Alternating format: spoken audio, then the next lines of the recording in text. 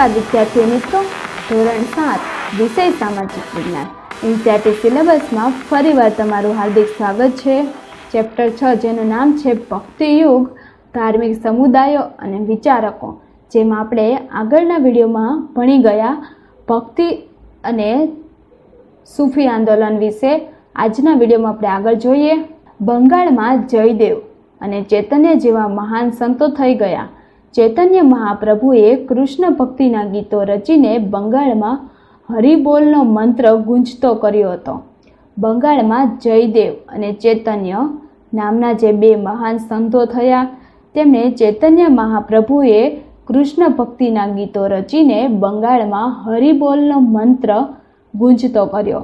ઉત્તર ભારતમાં રામાનંદ જેવા મહાન સંતે ભક્તિ આંદોલનના શ્રી ગણેશ કર્યા હતા. એકેશ્વર પરંપરામાં કબીર સૌથી મહત્વપૂર્ણ સંત હતા. તેઓ વ્યવસાયે વણકર હતા કે તેઓ કામ શું કરતા હતા કે વણકરનું. જેકેશ્વરની પરંપરામાં કબીર સૌથી મહત્વપૂર્ણ સંત હતા, તેઓ વ્યવસાયે વણકર હતા. બીજક અને કવિતા સંગ્રહ છે. બીજક તેમનો જે કવિતા સંગ્રહ છે, શીખોના પવિત્ર ગ્રંથ ગુરુ ગ્રંથ સાહેબમાં પણ તેમની કવિતાઓનો સમાવેશ કરેલ છે. જે ગુરુ ગ્રંથ સાહેબ છે તે ગ્રંથ, તેમાં કબીર સંતની કવિતાઓનો સમાવેશ થયેલો છે. સંત રૈદાસ તેમના ગુરુભાઈ હતા. જે સંત રૈદાસ હતા તે તેમના ગુરુભાઈ હતા. તે પણ કબીરની જેમ ગૃહસ્થી અને નિર્ગુણ સંત શાખાના સંત હતા. તે કબીરની જેમ જ ગૃહસ્થી અને નિર્ગુણ શાખાના સંત હતા. કબીર દ્વારા લખાયેલો દોહો આપણે અહીંયા એક જોઈ શકીએ છીએ. સાધુ એસા ચાહીએ, જેસા શુભ શુભાય સાર સાર કો ગહી રહે થોતા દે ઉડાય. વિદ્યાર્થી મિત્રો, બાજુમાં આપણે કબીરનું ચિત્ર જોઈ શકીએ છીએ. ગુરુ નાનક શીખ ધર્મના સ્થાપક હતા. જે ગુરુ નાનક હતા, તે શીખ ધર્મના સ્થાપક હતા. તેઓ નિર્ગુણ શાખાના સંત હતા. તેમના શિષ્યો શીખ કહેવાતા. તેમનો ધર્મ પાળતા તેમના જે શિષ્યો હતા તે શીખ કહેવાતા. ગુરુ ગ્રંથ સાહેબ તેમનો પવિત્ર ધર્મ ગ્રંથ છે. જે ગુરુ નાનક છે તે શીખ ધર્મના સ્થાપક હતા. તેઓ નિર્ગુણ શાખાના સંત હતા. તેમના શિષ્યો તેને શીખ કહેવાતા અને તેમનો ગ્રંથ, જેને ગુરુ ગ્રંથ સાહેબ તેનો જે પવિત્ર ધર્મ ગ્રંથ છે, ઉત્તર ભારત અને રાજસ્થાનમાં તુલસીદાસ, સુરદાસ અને મીરાબાઈ વૈષ્ણવ ભક્તિ આંદોલનમાં મહત્વપૂર્ણ સંતો હતા. ઉત્તર ભારત અને રાજસ્થાનમાં તુલસીદાસ, સુરદાસ અને મીરાબાઈ જે વૈષ્ણવ ભક્તિ આંદોલનના મહત્વપૂર્ણ સંતો હતા, તુલસીદાસ યુવાનીમાં જ સાધુ બન્યા હતા. તેમણે રામચરિત્ર માનસ અને વિનય પત્રિકા જેવા લોકપ્રિય ગ્રંથોની રચના કરી હતી, જે રામચરિત્ર માનસ કે રામ ભગવાનનું જીવન ચરિત્ર. તે તુલસીદાસ દ્વારા ગ્રંથમાં લખાયેલું છે અને ત્યારબાદ વિનય પત્રિકા જેવા તેમણે લોકપ્રિય ગ્રંથ રચેલા છે. તુલસીદાસનો ગ્રંથ રામચરિત્ર માનસ આજે પણ એટલો જ લોકપ્રિય છે. ગુજરાતમાં ભક્તિ રસથી પ્રજાને તરબોળ કરવામાં પંદરમી સદીમાં થઈ ગયેલા સંત નરસિંહ મહેતાનો ફાળો અનન્ય છે. ગુજરાતને ભક્તિ રસથી પ્રજાને તરબોળ કરવામાં. જે પંદરમી સદીમાં જે સંત થઈ ગયા, તેનું નામ છે નરસિંહ મહેતા. તેનો ફાળો અનન્ય છે. નરસિંહ મહેતા ઈસવીસન ચૌદસો બારથી ઈસવીસન ચૌદસો એંસી ગુજરાતી ભાષાના આદિકવિ છે. તેમનો જન્મ મૂળ તળાજા એટલે કે ભાવનગરમાં થયો છે. નરસિંહ મહેતા ઈસવીસન ચૌદસો બારથી ચૌદસો એંસી સુધી ગુજરાત ભાષાના આદિકવિ અને મૂળ તેમનો તળાજા એટલે કે ભાવનગરમાં તેમનો જન્મ થયો હતો. વિદ્યાર્થી મિત્રો, અહીંયા આપણે ચિત્ર જોઈ શકીએ છીએ ગુરુ નાનક, તુલસીદાસ અને નરસિંહ મહેતાનો.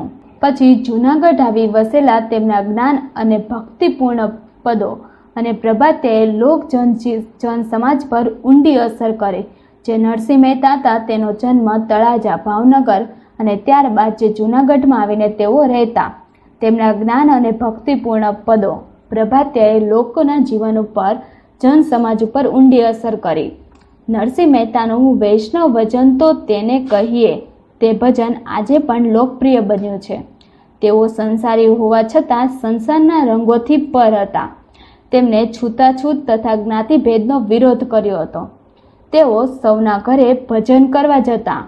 હરિનું ભજન કરનાર તેમને મન હરિનો જન હતો. કે જે હરિનું ભજન કરે, તો તેને મન તે હરિનો જન હતો. પક્ષા પક્ષીમાં નહીં, પરમેશ્વર સમદ્રષ્ટિએ સર્વ સમાન તેઓ કહેતા કે પક્ષા પક્ષીમાં નહીં, પરમેશ્વર. જે પક્ષ પક્ષનું કરે, તેમાં પરમેશ્વર નહીં, સમદ્રષ્ટિ. ઈશ્વરની દ્રષ્ટિમાં તો આપણે દરેક સમાન જ છીએ. તેમણે કૃષ્ણ ભક્તિનો મહિમા ગાતા કહ્યું છે, શ્રી કૃષ્ણની ભક્તિના સહારે મનુષ્ય ગમે તેવી આપત્તિઓનો પાર કરી શકે છે.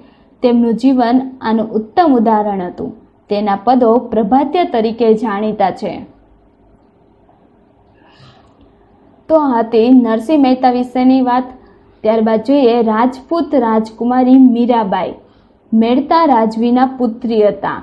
મીરાબાઈ વિશે તો રાજપૂત રાજકુમારી મીરાબાઈ જે મેડતા રાજવીના પુત્ર, પુત્રી હતા, તેમના લગ્ન મેવાડના રાજ પરિવારમાં થયા હતા.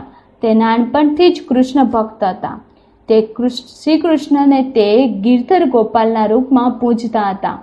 મીરાબાઈ એક ભક્ત, કવિયત્રી હતા. તેમણે ગુજરાતી અને હિન્દી ભાષામાં પદો રચ્યા હતા. તેમણે રચેલા પદ નરસિંહ અને કબીરના પદની જેમ લોકપ્રિય છે.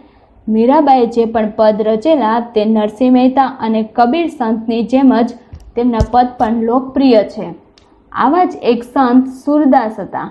તેઓ વલ્ભાચાર્યના શિષ્ય હતા. વ્રજમાં રહીને તેમણે શ્રી કૃષ્ણનો પદ રચ્યા. એક સંત હતા સુરદાસ. સુરદાસ તેઓ વલ્ભાચાર્યના શિષ્ય હતા અને વ્રજમાં રહીને શ્રી કૃષ્ણના પદો રચ્યા હતા. અહીંયા આપણે વિદ્યાર્થી મિત્રો બાજુમાં મીરાબાઈનું ચિત્ર જોઈ શકીએ છીએ.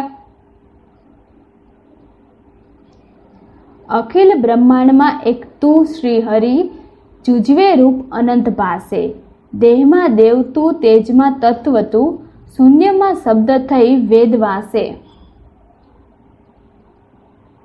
મુજ અબળાને મોરી મીરતબાઈ, સાંભળો ઘરેણું મોર સાચું રે મીરાબાઈ કે પ્રભુ ગિરધર નાગર હરિને ચરણે જાશુ રે મુજ મહારાષ્ટ્રના ભક્તિ આંદોલન ઉત્તર ભારતની બરોબર સાથે ચાલતું.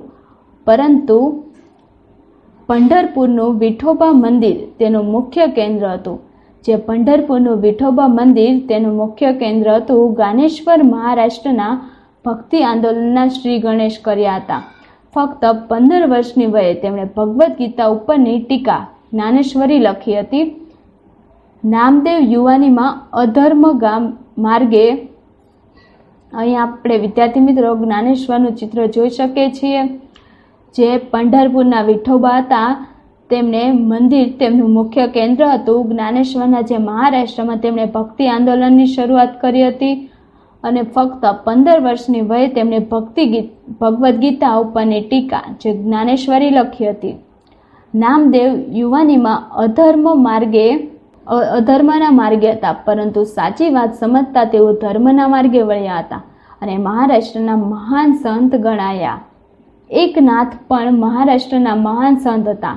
તેઓ ઊંચ નીચના અને નાત જાતના ભેદભાવનો વિરોધ કરતા હતા. તેઓ સૌને સમાન માનતા હતા. તુકારામ મહારાષ્ટ્રના સંત કવિ હતા. જે તુકારામ હતા તે મહારાષ્ટ્રના સંત કવિ હતા. તેમને રચેલા અભંગો ખૂબ જ જાણીતા છે. સમર્થ ગુરુ રામદાસ શિવજીના ગુરુ હતા. જે શિવાજી છે, તેમના ગુરુ. રામદાસ છે, તેમણે આધ્યાત્મિક અને સાંસારિક જીવનને જોડવાનો પ્રયાસ કર્યો હતો.